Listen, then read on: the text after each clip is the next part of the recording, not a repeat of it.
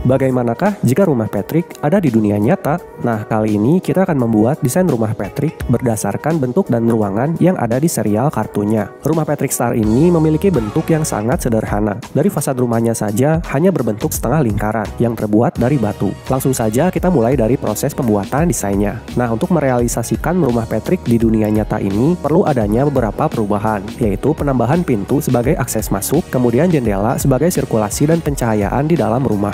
Untuk interiornya menyesuaikan dari beberapa scene kartun juga dari gamenya, yang mana di sana diperlihatkan rumah Patrick ini memiliki dua lantai. Lantai satunya yang berelevasi di bawah tanah, dan lantai duanya yaitu ruang pribadi Patrick. Ketika masuk diperlihatkan di bagian sebelah kiri area lantai satu yaitu ruang keluarga dengan sedikit nuansa Skandinavian. Ada kamar mandi dan kamar tidur dengan nuansa monokrom dan Skandinavian. Desain ruangan Patrick ini yaitu open space. Untuk lantai duanya sendiri adalah ruang pribadi Patrick yang bertemakan vintage.